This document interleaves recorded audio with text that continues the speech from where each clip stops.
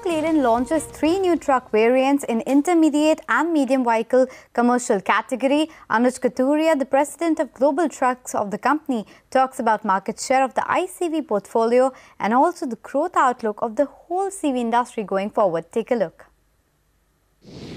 ICV is a growing segment and we have seen a 30% growth this year and we expect that uh, as the hub and spoke model keeps on maturing the growth for uh, the ICV trucks will further uh, be better and uh, the next year is the pre-buy year so I expect further growth in this segment.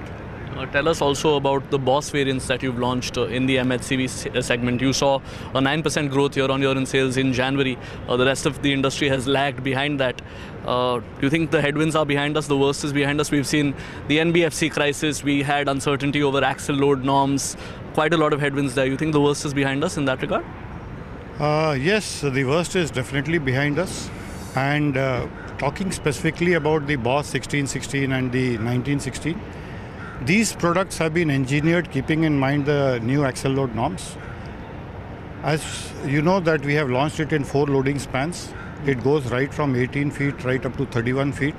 So this vehicle is the most suited vehicle uh, for applications such as the e-commerce, the white goods, Uh, with regard to these products specifically, are you going to be launching uh, left-hand drive variations to export as well? And also, uh, there was a bit of trouble in the export markets, especially Sri Lanka and the Middle East. Are you seeing that come down now? See, as far as LHD variants, Boss is always available as a LHD, and Boss being our premium segment offering in the ICV.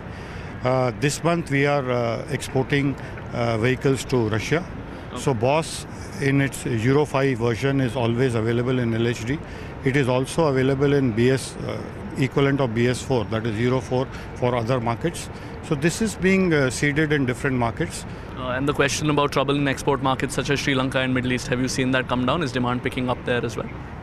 There are cert- there were certain challenges, but uh, things are getting better, and we hope that in the coming year things will improve further. Uh, from here on, all uh, resources going to be used to meet the BS6 uh, requirement. Also, tell us about uh, what your capex expenditure is going to be for FY20. See, as far as the BS4 portfolio, we have a robust portfolio now. The range is complete.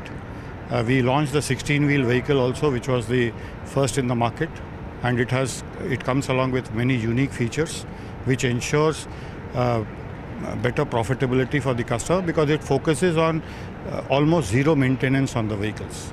So we have given unitized bearings, we have given sealed ball joints, the slipper-ended suspension, which is a low maintenance suspension. So we have taken care of those features. So with that, our BS4 portfolio is complete. Well, moving on, then, promoter borrowing from the mutual fund industry has recently come under the public scrutiny in light of the fall in share prices that are often pledged as collateral for such loans. Now, after Zee Group, it is the Anil Ambani Group that has done the same. We spoke to a whole host of experts to understand what they make of the situation. Hear them out.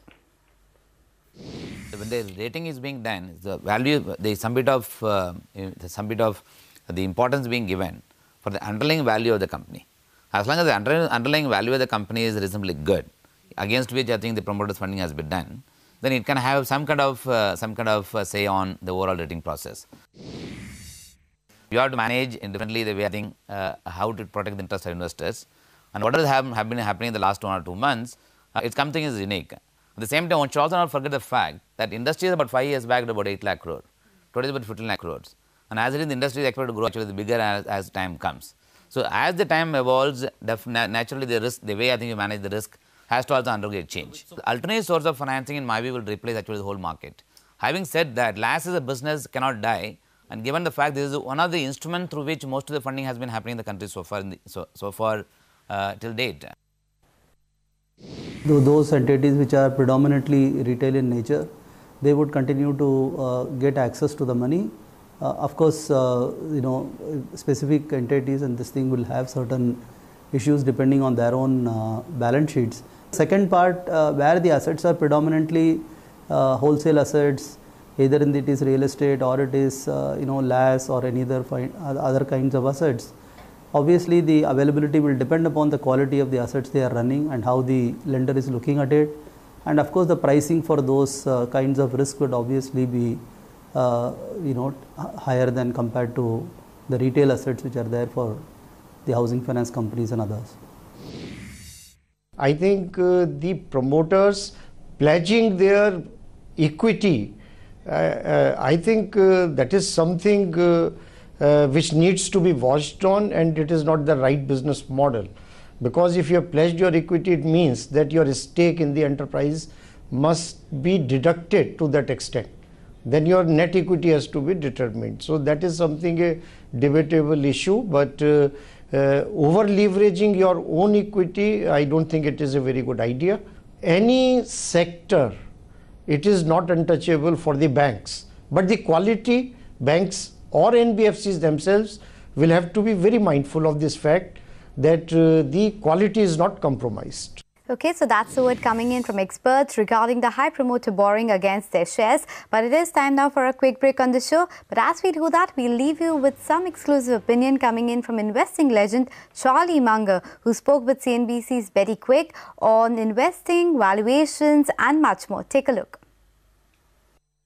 It isn't like the last recession or the last big opportunity that the world is ever going to get is past there'll be opportunities in the future. There are times that are easier and there are times when, which are harder. A, the valuations have come up, and B, the competition sorting through those opportunities is more intelligent and more aggressive and more numerous.